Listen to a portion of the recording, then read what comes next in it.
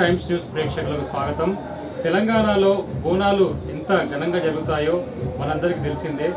ఆషాఢ మాసం వచ్చిందంటే పిల్లలు పెద్దలు అందరూ కూడా భక్తి శ్రద్ధలతో ఈ బోనాల జాతరను ఎంతో నియమనిష్టంతో ఆనందంతో సంతోషంతో జరుపుకోవడం మనం చూస్తుంటాం.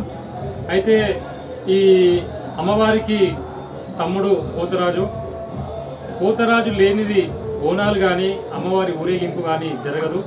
మరి ముఖ్యంగా తెలంగాణలో పోతరాజ్ అంటే ఒక వ్యక్తి పేరు మనకు ప్రస్తుతంగా కనిపిస్తుంది. తెలంగాణలోనే కాదు ఎక్కడ కానీ గూగుల్లో సెర్చ్ చేస్తే పోతరాజు పేరు ఒక బొమ్మ అనేది మనకు ఆయన చిత్రం అనేది ఒకటి మనకు దొరుకుతుంది. ఆయనే మన దేవరాజ్ పుట్ట దేవరాజ్ పోతరాజ్.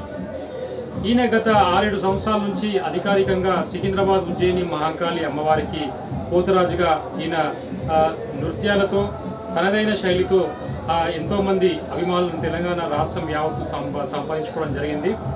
అయితే తన వంతు భక్తి శ్రద్ధలతో ప్రతి ఆషాఢ జాతరలో మహంకాళి జాతర ఏ రోజైతే జరుగుతుందో ఆ రోజు తన నివాస స్థలమైనటువంటి బన్స్లాల్పేటలో తన బంధువులను మిత్రులను స్నేహితులను అందరినీ పిలుచుకొని ఎంతో ఘనంగా ఎంతోమంది పోతురాజులను ఎంతోమంది ఈ కళాకారులను పిలిపించి చాలా పెద్ద ఎత్తున ఘనంగా సెలబ్రేట్ చేస్తుంటాడు మన దేవరాజ్ పోతరాజ్. ఆ దృశ్యాలు మనం ఇప్పుడు చూద్దాం.